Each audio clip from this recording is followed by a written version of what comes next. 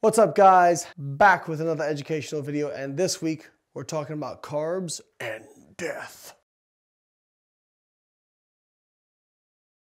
There was a recent study done, and it was published in The Lancet, which is a very high-end journal, looking at the relationship between carbohydrate intake and all-cause mortality. So when we say all-cause mortality, that literally means death from any cause. You know, somebody gets hit by a car, that falls under it. But it can be a useful statistic to pick out trends. So they looked at carbohydrate intake ranging from like in the percentages in the 30s all the way up to the 70s in terms of percentage of calories.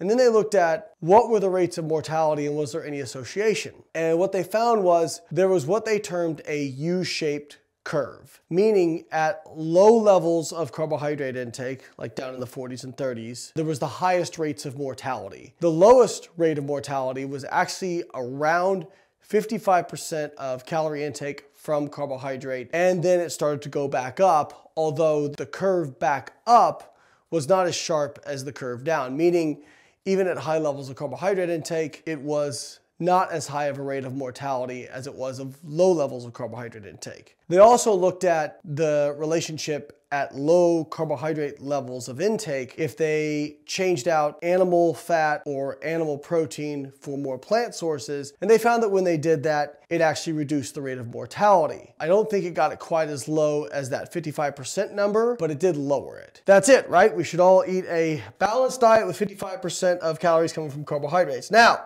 my personal bias says this is great.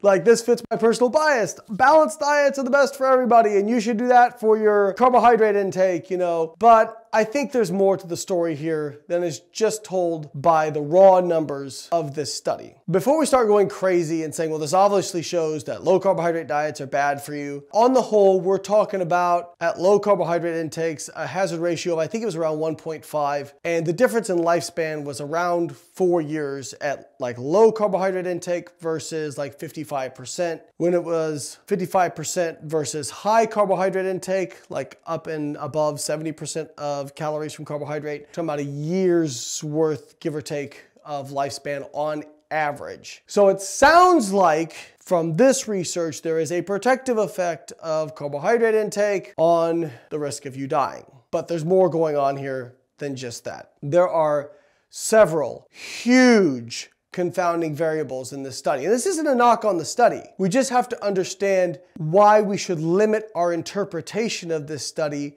and proceed cautiously. Some of the biggest confounders in this study are one, smoking. So there is a 50% difference in the number of current smokers between the lowest intake of carbohydrate and the highest intake of carbohydrate. So amongst the lowest intake of carbohydrate, 33% were smokers, but at the highest intake of carbohydrate, there was only 22%. That's a big difference and it was statistically significant and it's almost a linear drop over the course of carbohydrate intake with the amount of smoking. There was also more former smokers amongst the lowest carbohydrate intake group versus the highest carbohydrate intake group. And again, it was kind of a linear drop as carb percentage from calories went up, rates of smoking went down amongst current and former smokers. If we look at the people who have never smoked, a 50% difference. So only 32% of people in the lowest carbohydrate group had never smoked, whereas in the highest carbohydrate group, almost half had never smoked, so 48%.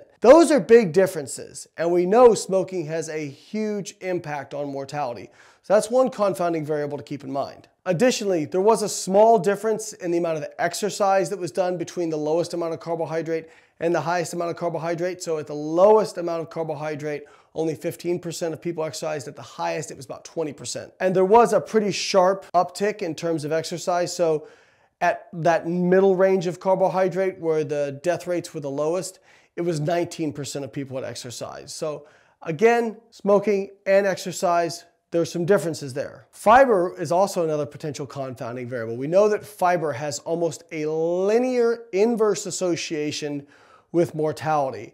People in the lowest carbohydrate group on average ate about 13 grams of fiber per day. In the highest carbohydrate group, they ate 19 to 20 grams of fiber per day. Again, big confounding variables here. When they looked at the amount of animal fat in the low carb group, there were significantly higher amounts of animal fat versus the highest carbohydrate group. Animal fat tends to be saturated fat, and if you think about where most Americans get their animal fat from, it's a lot of processed meats, hamburgers, hot dogs, those sorts of things, not very healthy sources of fat. As I alluded to earlier, they also showed that in the lowest carbohydrate group, if you replace the animal sources of protein with more plant sources of protein, the rates of mortality went down. Now, a confounder to that is that they're having more plant sources of protein, they're probably increasing that fiber amount. So once again, there's many potential confounding variables here. I'm not attempting to dismiss this study. It is possible there is something to this, but what I'm saying is based on this study by itself, I am not prepared to say that low carbohydrate diets are dangerous. What I would say is if you're going to do a low carbohydrate diet, make sure you get plenty of fiber as much as you can so you're eating a lot of vegetables and make sure that you're not going crazy with saturated fat. There is a group of people out there now, mostly carnivore zealots, who will tell you that saturated fat doesn't matter and they will cherry pick studies to support their bias. But if we look at Mendelian randomization trials of LDL cholesterol. What we see is almost a perfect association between lifetime exposure to LDL cholesterol and incidence of heart disease. We know that saturated fat will increase LDL cholesterol. Therefore, I'm not telling you that you should omit animal protein if you like to eat animal protein.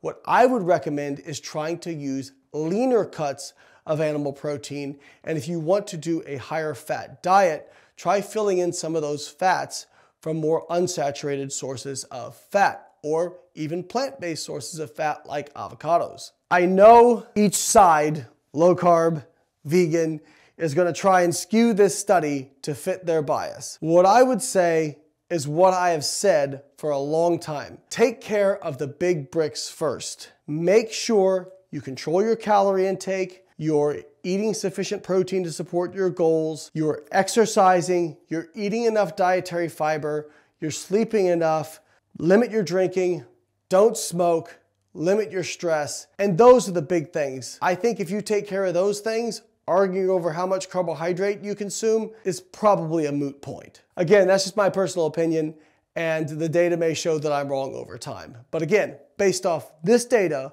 with the amount of confounding variables in it, I don't feel comfortable saying that low carbohydrate diets in and of themselves are dangerous. All right, guys, hope you liked this video. If you liked the video, like it, subscribe to the channel, and I will catch you next week.